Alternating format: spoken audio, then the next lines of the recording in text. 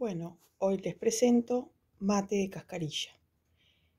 Es la cáscara de cacao, ahí, con leche. La acompaño con dos alfajores. Qué más lindo para un día invernal disfrutar de este mate de cascarilla. Se acompaña con leche, no sé si alguien lo toma con agua, se le pone leche bien caliente, azúcar o edulcorante.